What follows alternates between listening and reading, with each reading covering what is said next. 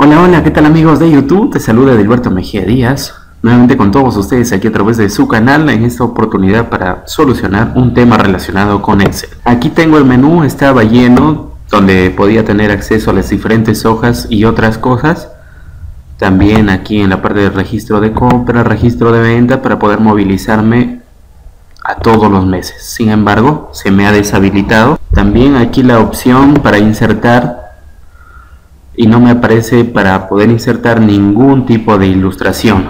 El otro problema es que aquí yo he realizado un filtro aquí en la parte de validación de datos y como puede ver estoy jalando de todos los meses pero no me aparece la pestaña para poder cambiar de un mes a otro entonces vamos a solucionar este problema nos citamos aquí en la parte de menú observa archivo opciones. Estoy con la versión 2019 vamos avanzadas.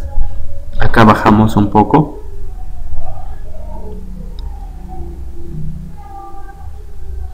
Opciones de presentación de este libro.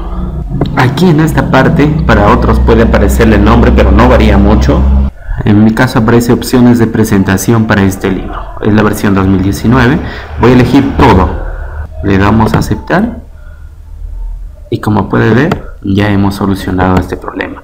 Nos vamos aquí en esta parte donde estaba la validación de datos y ya podemos trasladarnos en los diferentes meses igual aquí. Muy bien amigos eso es todo. No olviden suscribirse y compartir el video. Hasta pronto